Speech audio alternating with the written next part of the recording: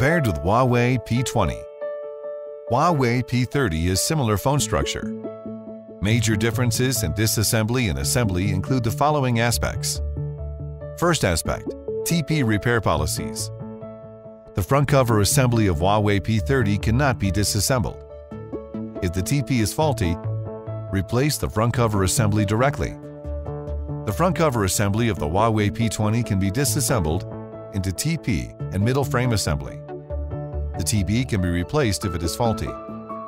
Second aspect, fingerprint sensor module repair policies. Huawei P30 adopts in-screen fingerprint sensor. Remove the subboard to remove it. Clean the fingerprint sensor slot properly. Huawei P20 adopts front fingerprint sensor.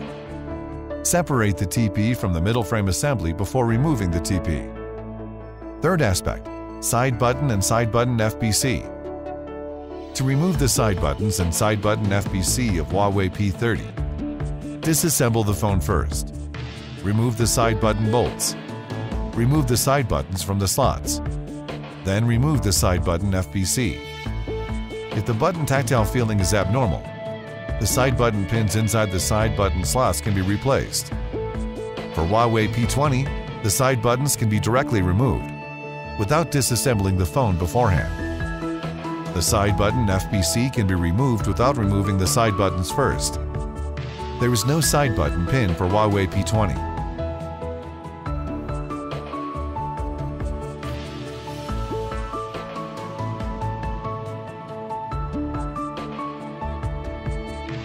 Prepare the required tools.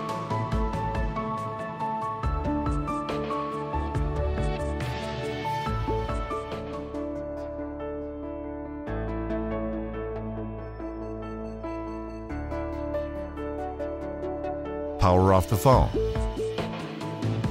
Use the eject pin to remove the SIM card tray.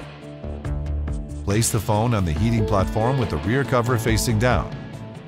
Heat the phone at 65 plus or minus 5 degrees Celsius for 5 minutes. Place the phone in the phone disassembly fixture 2.0 with the TP facing down. Attach the vacuum cup to the bottom of the rear cover. Rotate the handle of the fixture to open a gap. Insert the opening pick in the gap. Swipe it along the edges to separate the rear cover. Take out the foam. Remove the rear cover completely. Attach the protective foam to the rear cameras. Remove the adhesives from the rear cover. Use flat-tip spudger to remove residual adhesives and mylar from the middle frame and rear cover.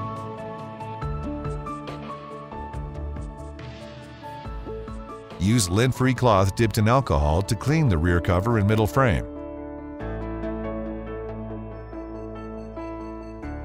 Use the Phillips screwdriver to remove the 9 screws from the PCBA support and 4 screws from the subboard support. Separate the bottom of the graphite sheet. To remove the PCBA, you can use plastic spudger to pry out the PCBA support at its bottom above the LCD B2B connector or at its right snap fit.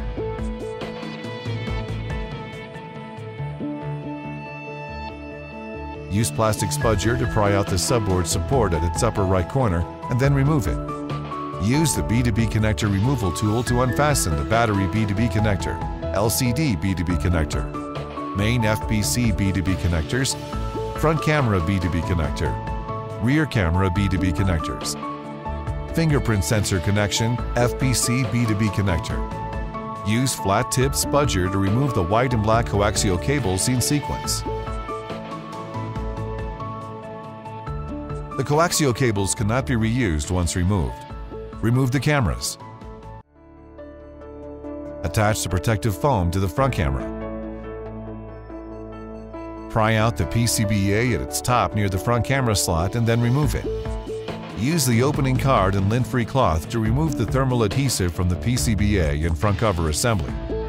Apply around 120 milligrams of the Gel 30 thermal adhesive in the silkscreen frames on the front cover assembly. Slightly bend the LCD FPC and battery FPC. Align the PCBA with the locating pin on the lower right corner of the front cover assembly. Insert the bottom of the PCBA in place. Align the PCBA with the locating pin on the left. Insert the PCBA in place. Remove the protective foam from the front camera. Insert the front camera in the slot on the front cover assembly. Fasten its B2B connector. Place the rear camera module with its back facing up. Align the rear camera copper foil with the left side and bottom of the camera. Attach the copper foil to the back of the rear camera. Smooth the remaining part of the copper foil on both sides of the camera.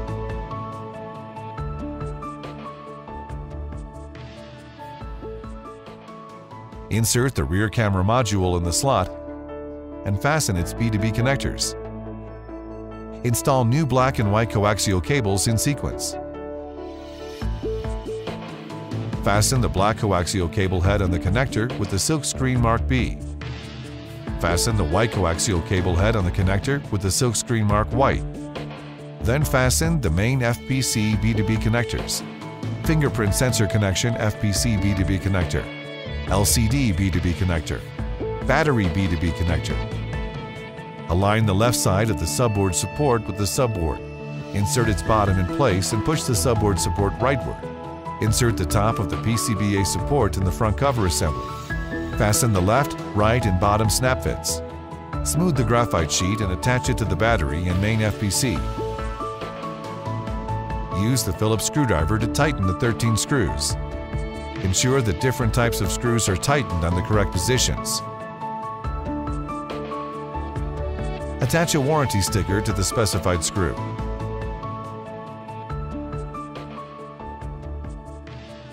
Use the Phillips screwdriver to remove the 16 screws.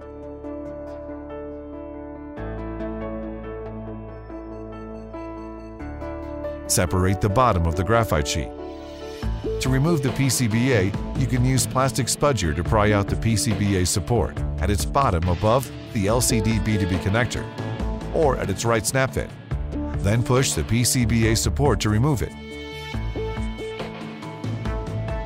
Use plastic spudger to pry out the subboard support at its upper right corner, and then remove it. Use the B2B connector removal tool to unfasten the battery B2B connector, main FPC B2B connectors, fingerprint sensor connection FPC B2B connector, speaker B2B connector, headset jack B2B connector. Use flat tip spudger to remove the white and black coaxial cables in sequence. The coaxial cables cannot be reused once removed. Pry out the lower speaker at its lower right corner. Remove the adhesive from the speaker slot. Use the B2B connector removal tool to unfasten the antenna subboard B2B connector. Remove the antenna subboard. Remove the adhesive from the antenna subboard slot. Use plastic spudger to pry out the USB subboard at its upper right corner. Slightly bend the FPC upwards. Insert the USB port and the subboard in the opening on the middle frame. Align the USB subboard with the locating pins. Press the USB subboard in place. Attach the antenna subboard adhesive to the slot. Align the antenna subboard with the locating pins and screw holes. Attach the antenna subboard to the speaker. Fasten the antenna subboard B2B connector. Attach a piece of adhesive to the speaker slot in the front cover assembly. Align the speaker with the speaker holes. Insert the speaker in the slot. Install the black and white coaxial cables in sequence. Fasten the black coaxial cable head on the connector with the silkscreen mark B. Fasten the white coaxial cable head on the connector with the silkscreen mark white. Then fasten the speaker B2B connector, headset jack B2B connector, main FPC B2B connectors, fingerprint sensor B2B connector, battery B2B connector. Align the left side of the subboard support with the subboard. Insert its bottom in place and push the subboard support rightward. Insert the top of the PCBA support in the front cover assembly. Fasten the left, right, and bottom snap fits. Smooth the graphite sheet and attach it to the battery in main FPC. Use the Phillips screwdriver to tighten the 16 screws. Ensure that different types of screws are tightened on the correct positions. Attach a warranty sticker to the specified screw.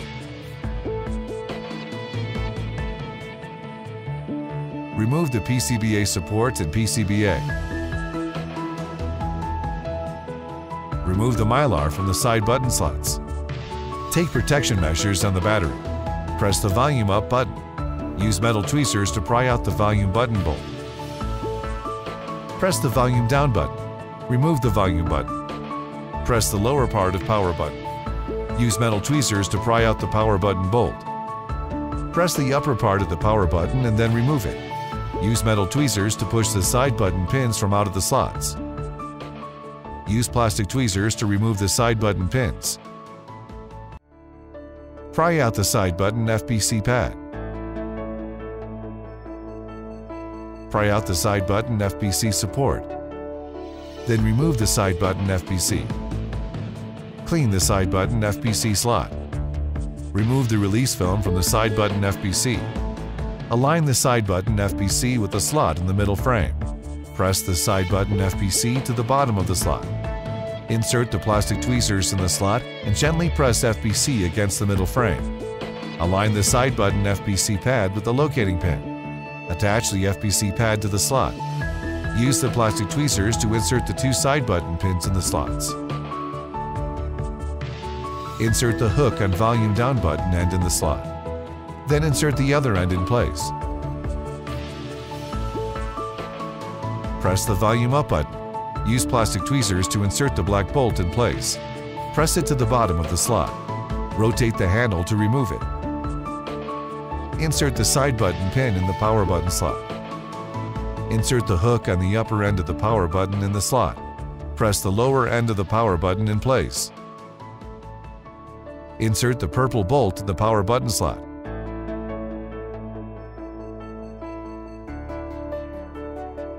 Check that the button tactile feeling is normal.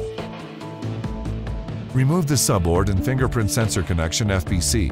Use metal tweezers to pry out the fingerprint sensor. Pry out the fingerprint sensor FPC pad on its right side. Remove the fingerprint sensor module. Use lint-free cloth dipped in alcohol to remove the adhesive from the slots.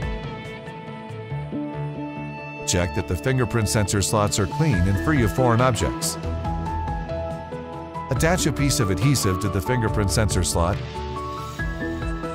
and fingerprint sensor FPC pad slot respectively. Remove the release films. Vertically install the fingerprint sensor and fingerprint sensor FPC pad. Press them for 10 seconds respectively. Use plastic tweezers to push out the rear camera lens. Remove the adhesive from the camera lens decorative part. Remove the release film from the rear camera lens. Use plastic tweezers to install the rear camera lens. Use your thumb to press the rear camera lens for around 40 seconds. Use the Phillips screwdriver to remove the 16 screws.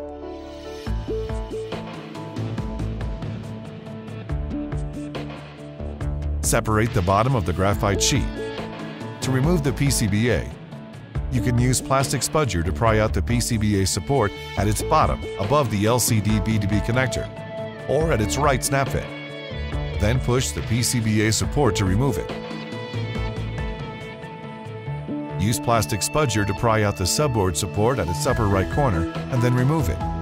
Use the B2B connector removal tool to unfasten the battery B2B connector, LCD B2B connector, main FPC B2B connectors, front camera B2B connector, rear camera B2B connectors, fingerprint sensor connection FPC B2B connector, speaker B2B connector, headset jack B2B connector. Use flat tip spudger to remove the white and black coaxial cables in sequence. The coaxial cables cannot be reused once removed. Remove the cameras. Attach the protective foam to the front camera. Pry out the PCBA at its top near the front camera slot and then remove it. Use the opening card and lint-free cloth to remove the thermal adhesive from the PCBA and front cover assembly. Pry out the lower speaker at its lower right corner. Remove the adhesive from the speaker slot. Use the B2B connector removal tool to unfasten the antenna subboard B2B connector. Remove the antenna subboard. Remove the adhesive from the antenna subboard slot. Use plastic spudger to pry out the USB subboard at its upper right corner. Use the B2B connector removal tool to remove the fingerprint sensor connection FPC. Use plastic spudger to pry out the headset jack at its bottom. Align the headset jack with the slot and insert it in the middle frame. Hold the fingerprint sensor connection FPC with the QR code side facing up. Fasten the connection FPC B2B connector on the fingerprint sensor FPC pad. Insert the USB port on the subboard in the opening on the middle frame. Align the USB subboard with the locating pins. Press the USB subboard in place. Attach the antenna subboard adhesive to the slot. Align the antenna subboard with the locating pins and screw holes. Attach the antenna subboard to the speaker. Fasten the antenna subboard B2B connector. Attach a piece of adhesive to the speaker slot in the front cover assembly. Align the speaker with the speaker holes. Insert the speaker in the slot. Apply around 120 milligrams of the Gel 30 thermal adhesive in the silkscreen frames on the front cover assembly. Slightly bend the LCD FPC and battery FPC. Align the PCBA with the locating pin on the lower right corner of the front cover assembly. Insert the bottom of the PCBA in place. Align the PCBA with the locating pin on the left. Insert the PCBA in place. Remove the protective foam from the front camera. Insert the front camera in the slot in the front cover assembly. Fasten its B2B connector. Place the rear camera module with its back facing up. Align the rear camera copper foil with the left side and bottom of the camera. Attach the copper foil to the back of the rear camera. Smooth the remaining part of the copper foil on both sides of the camera.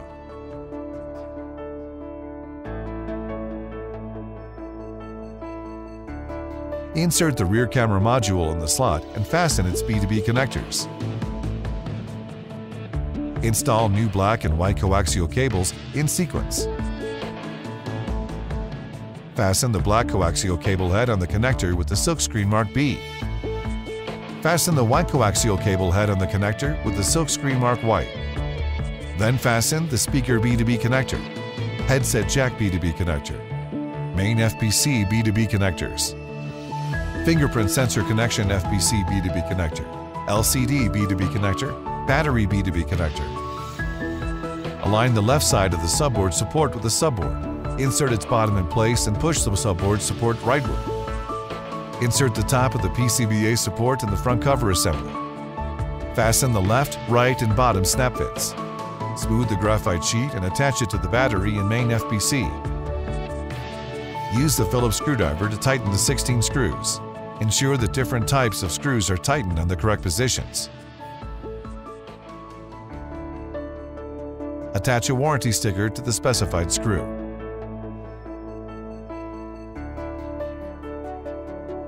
Remove the protective film from the rear cover frame adhesive.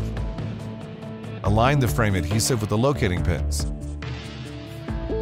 Place the frame adhesive on the adhesive attachment fixture. Align the rear cover with the locating pins. Press the rear cover against the frame adhesive. Press the rear cover edges to fix the frame adhesive. Align the four pieces of small adhesives with the silkscreen lines on the rear cover. Attach the small adhesives properly. Remove the release films from the adhesives on the rear cover.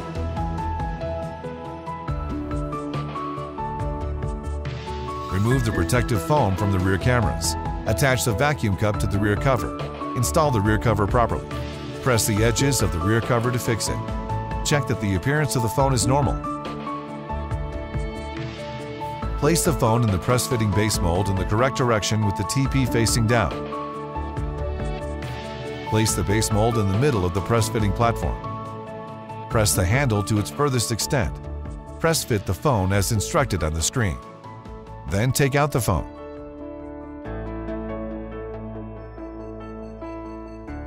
Insert the SIM card tray in the phone. Check that the phone can start up properly. This is the end of the video tutorial. Thanks for watching.